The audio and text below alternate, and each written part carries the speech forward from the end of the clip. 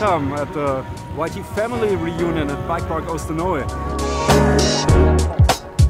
First YT family reunion for me. It's only my third day back, kind of like properly riding.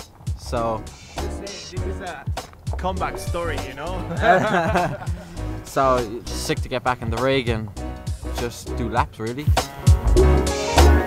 I've never imagined a T-bar uplift on a mountain bike, but hell, it definitely works and they've maximised the space and it really reflects in the culture of this small environment.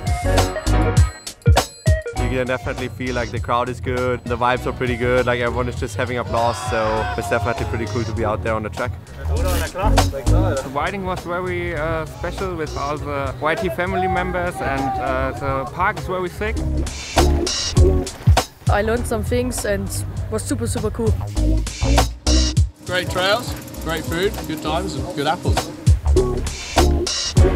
Today I finally felt there was no pain in my body and uh, I got Eric doing the setup on my bike so I could go racy and uh, I love that the Capra is such a beast. I had a super crazy day here with all the people and yeah, in the end the bicycle brings everyone together.